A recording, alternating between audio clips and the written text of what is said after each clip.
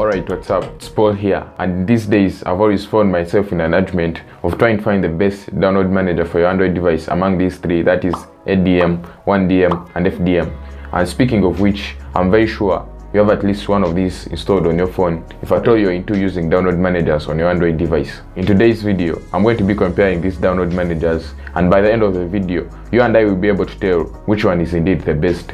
All these apps can be downloaded for free from the Play Store and I'll be leaving their download links in the video description below so that you can go ahead and check them out in case you haven't.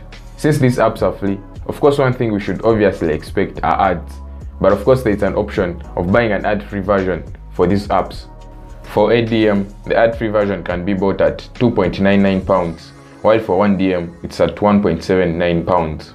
Now unlike the two, Free Download Manager doesn't have an ad-free version. And of course I must say there are less ads you come across while you're using Free Download Manager as compared to these other two.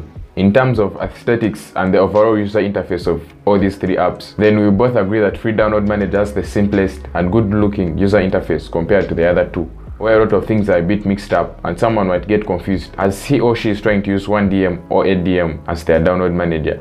But on the other hand, Free Download Manager is the worst browser among these three download managers.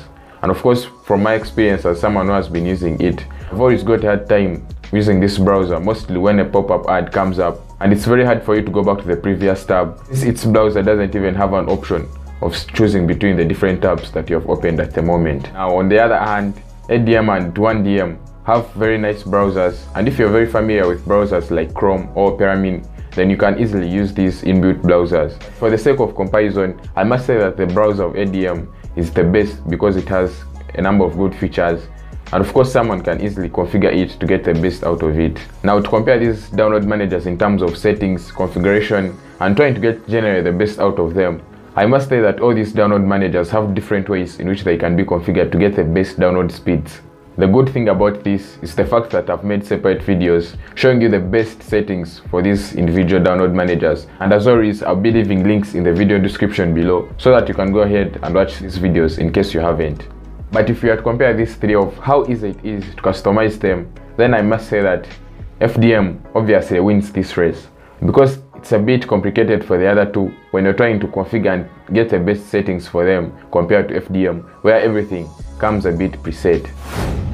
But speaking as someone who has used both the download managers and tried to get the best out of them, I obviously would recommend someone to use ADM until oh, you're looking for a download manager that has the best download speeds. But on the other hand, in case you're looking for a download manager that is easy to use and can give you a lot of features and options without going through a lot of hassle, then I must say that FDM is the right download manager for you though you're going to get a hard time while you're using its browser. So yeah, I believe this comparison video settles the argument of what is indeed the best download manager. Otherwise, the comment section is open and you can share with us the different ideas about these download managers. Catch you in the next one. Peace.